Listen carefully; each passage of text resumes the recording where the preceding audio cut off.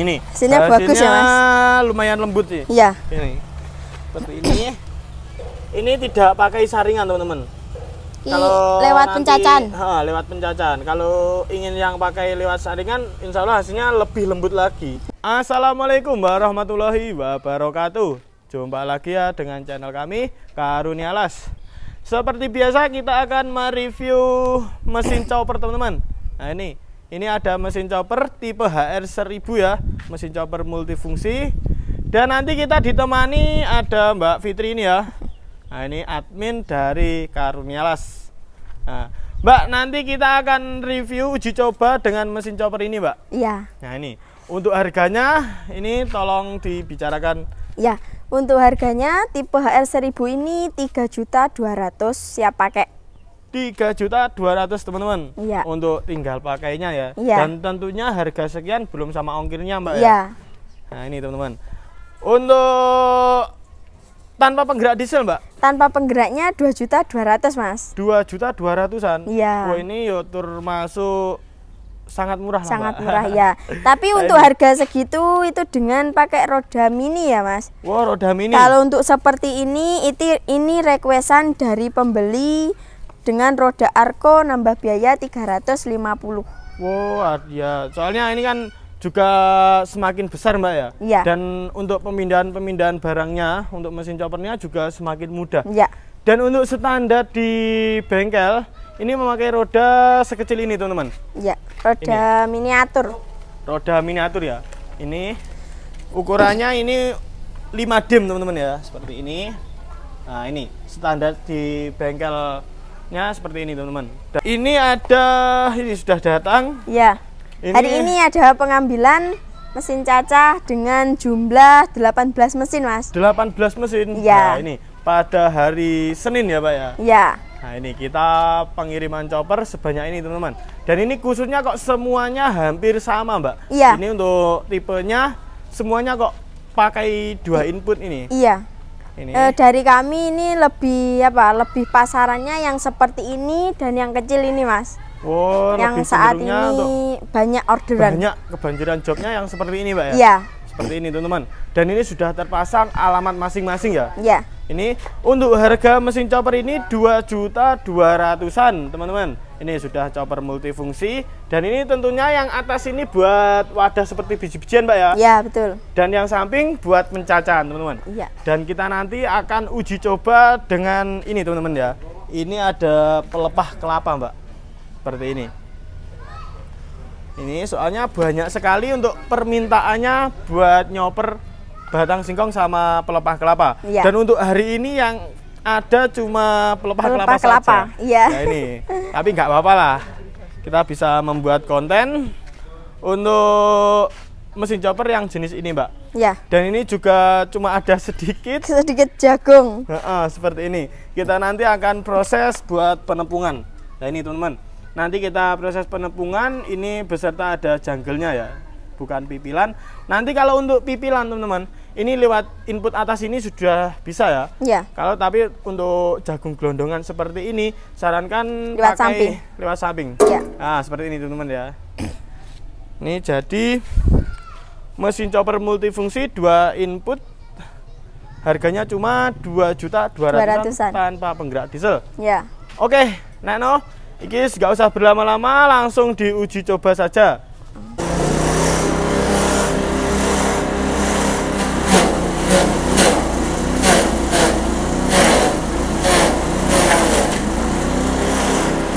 Nah, ini teman-teman, untuk hasil dari pelepah kelapa, Mbak ya. Iya. Ini. Hasilnya bagus ya, Mas? lumayan lembut sih. Iya. Ini. Seperti ini. Ini tidak pakai saringan, teman-teman. Ini lewat nanti- pencacan. Ha, lewat pencacan. Kalau ingin yang pakai lewat saringan, insya Allah hasilnya lebih lembut lagi. Iya, Tapi, ya tapi juga lama. semakin lama Iya. ya. Kalau lewat pencacan kan tidak terhambat sama saringan. Iya. Nah, seperti ini. Kalau menurut hasilnya, saya ini untuk cacah aja hasilnya udah bagus, Mas. ya, nggak perlu pakai nggak saringan. pak- nggak perlu pakai saringan. Iya. Hasilnya juga Udah sangat bagus. maksimal seperti Iya. ini, teman-teman. Ini seperti apa jenis? Rambut.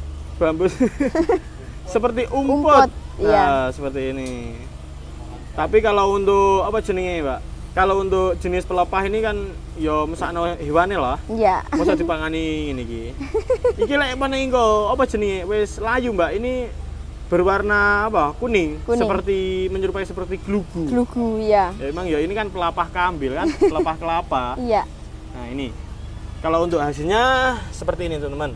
Ini hasilnya juga lumayan lembut tapi belum tahu untuk pakan kambing ini bisa apa enggak. Iya. Nah, seperti ini. Cuma contoh saja. Dan ini yang kedua kita akan proses giling ini, teman-teman ya. Jagung. Ini jagung. Nanti kita lewat input bawah ya, in- lewat penepungannya. Dan ini kita nanti akan nutup input atas ini di sini teman-teman. Ini ya. Untuk input atasnya nanti ditutup seperti ini dan otomatis nanti lewat input bawah sini ya. Ini buat keluarnya si penepungan teman-teman. Nah ini. Oke, kita uji coba dengan tongkol jagung ini ya.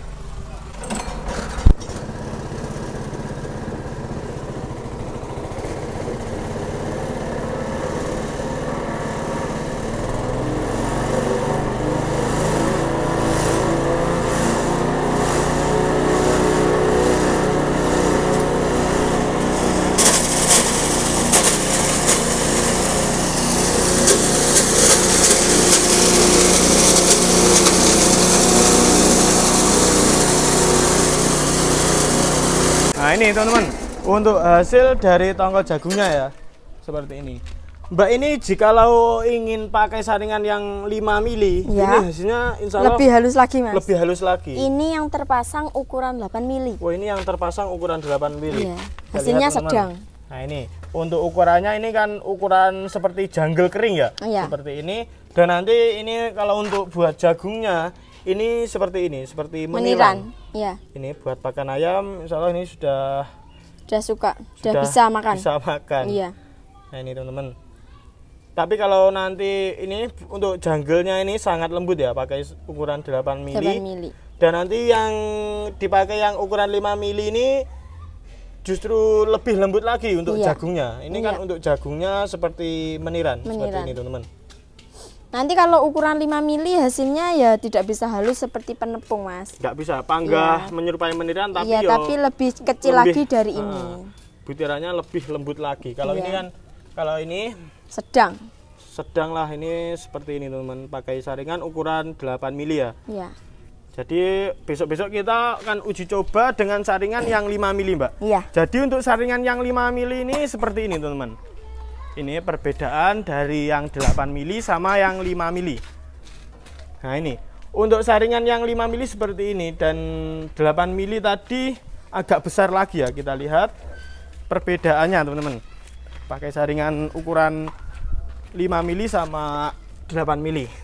Dan ini bisa dilihat ya, teman-teman. Seperti ini. Yang 8 mili juga agak besar. Ini hampir separuhnya ya. Kalau yang 5 mili seperti ini. Ini insya Allah kalau untuk biji-bijian ini sangat lembut sekali ya. Khususnya untuk jagung teman-teman. Ini seperti ini. Kalau untuk janggelnya nanti sangat lembut.